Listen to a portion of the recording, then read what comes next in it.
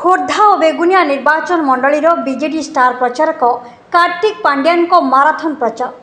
ଗୁରୁବାର ଅପରାହ୍ନରେ ହେଲିକପ୍ଟରରେ ଯାଇ ବେଗୁନିଆ ଏବଂ ଖୋର୍ଦ୍ଧା ନିର୍ବାଚନ ମଣ୍ଡଳୀର ଟାଙ୍ଗିଠାରେ ଦୁଇଟି ନିର୍ବାଚନୀ ସଭାରେ ପ୍ରଚାର କରିଥିଲେ।